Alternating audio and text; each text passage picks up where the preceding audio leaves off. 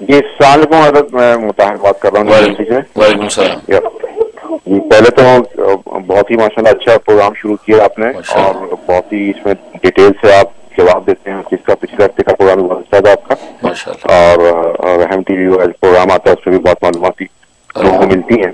تو ابھی ابھی بھی میرا سوال جو ٹاپک چل رہا ہے اسی کی مناسبت سے یہ ہے کہ ماشاء اللہ ویسے تو مجھے تقریباً جواب مل گیا آپ نے اتنے ڈیٹیل میں سوالوں کا جواب دیے ہیں۔ لیکن ایک جو میں سوال آپ سے کرنا چاہتا ہوں کہ بعض دفعہ ایسی سچویشن ہو جاتی ہے کہ سیکیورٹی کا مسئلہ آ جاتا ہے یعنی کہ لوگ خوف محسوس کرتے ہیں نارتھ کیرولائنا ہے یا ساؤتھ کیرولائنا ہے جہاں پہ وائٹ سپریمسٹ کا بھی زیادہ تر اثر ہے وہاں پہ تو وہاں پہ خواتین جو ہے نا وہ خوف محسوس کرتی ہیں اسکارف پہن کے نکلیں گی تو کچھ پرابلم ہو سکتی ہے۔ تو سیکورٹی کی وجہ سے وہ اسکارف بلکہ ایسا بھی سننے میں آیا کہ کچھ پرماننٹ لینے والیوں نے اسکارف لینا چھوڑ دیا۔ ہے تو سیکورٹی کی وجہ سے کیا اسکارف کو جو ہے وہ چھوڑا جا سکتا ہے یہ سوال ہے آپ سے بیسکلی جی مفتی صاحب یہ بھی سوال گو کے پہلے آپ نے پارشلی اس کا جواب دیا ہے۔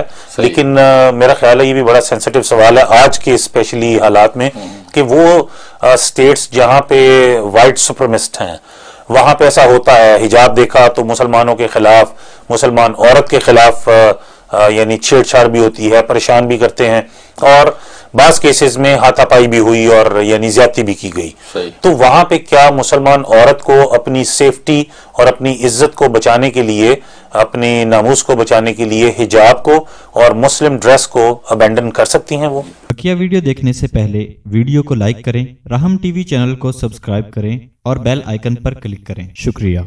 آ، سوال تو اچھا ہے لیکن سوال یہ ہے کہ کیا اگر عورتیں حجاب بھی پہننا مسلمان چھوڑ دیں گی، تو کیا جو وہ وائٹ سپر میں اس پہ راضی ہو جائیں گے؟ اس کے بعد آپ کو بادر نہیں کریں گے ہارڈ نہیں کریں گے، یا اس سے اگلے سٹیپ پہ نہیں جائیں گے؟ وہ تو قرآن نے صاف کہہ دیا، ولن طرز انکل یہود ولن نصارہ یہود ولن نصارہ تب تب ملتوں کہ یہود و نصارہ آپ سے خوش ہو ہی نہیں سکتے جب تک کہ آپ ان کی ملت کو اختیار نہ کر لیں۔ آپ خود یہودیت کو اختیار نہ کر لیں، عیسائیت کو اختیار جب تک نہ کر لیں، تو آپ سے خوش ہو نہیں سکتے۔ اس سے بہتر ہے کہ آپ ان کو خوش کرنے کے بجائے اپنے اللہ کو خوش کریں۔ اللہ نے جہاں تک آپ کو گنجائش دی، اس وقت تک آپ کریں۔ آپ کو نقاب کی اجازت دی، آپ نقاب جو نہ کریں، ٹھیک ہے، آپ بالکل پروقار سے نکلیں۔ لیکن اب اسکاپ پر بھی ان کو اعتراض ہے، تو کل کو تو آپ کے کلچر پر بھی اعتراض ہے۔ آپ کی نماز پر بھی اعتراض ہے ان کو۔ آپ کے اللہ اللہ کرنے پہ اعتراض ہے کہ آپ کی جو وے آف لائف ہے، اس پہ بھی اعتراض ہے۔ تو جب تک آپ پورے ان کے اندر مدغم نہیں ہو جائیں گے، اس وقت تک تو یہ خوشی نہیں ہوں گے تو اگر انہیں کو خوش کرنا اور اس سیکورٹی کے بہانے سے بچنا مقصد ہے، تو پھر تو یہ آپ دین و ایمان کما بیٹھیں گے۔ تبھی تو قرآن کریم میں بھی حکم ہے کہ جب فرشتے جو ہے وہ اہل جہنم کو ماریں گے، تو ان کو کہیں گے کہ تم لوگوں نے کیوں نہیں اللہ کے احکام پورے کیے۔ تو وہ کہیں گے کہ ہم ایک ایسی سرزمین میں تھے کہ جہاں اللہ کے حکموں کو پورا نہیں کر سکتے تھے۔ کیونکہ ہمارے اوپر بڑا پریشر تھا، جیسے یہاں کا خوف تھا، اس طرح کے حالات تھے۔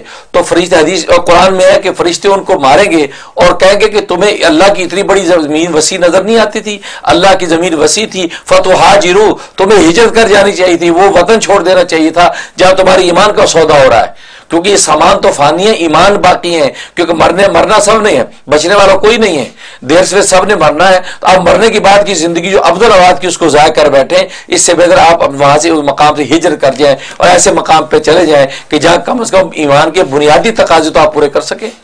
لہٰذا اس وجہ سے آپ سیکورٹی اور خوف کی وجہ سے سکاپ بھی اتار دیں اور بالکل کھلے بدون جیسے بن جائیں، وہ آپ سے پھر بھی راضی ہونے والے نہیں ہیں۔ اس کے بعد اگلے سٹیپ پہ جائیں گے۔ سبحان اللہ، بڑی خوبصورت بات کی مفتی صاحب نے کہ کس حد تک وہ آپ کو مجبور کرتے جائیں گے اور کس حد تک آپ ان کے کلچر کو اور ان کی مجبوریوں کو برداشت کرتے جائیں گے۔ ایک سٹیج آئے گی کہ آپ کو یہ فیصلہ کرنا ہے کہ آپ نے اللہ کے حکم کو فالو کرنا ہے یا اس کلچر کی، اس سوسائٹی کی پریشرز کو اڈاپٹ کر کے اپنے دین پہ کمپرومائز کرنا ہے۔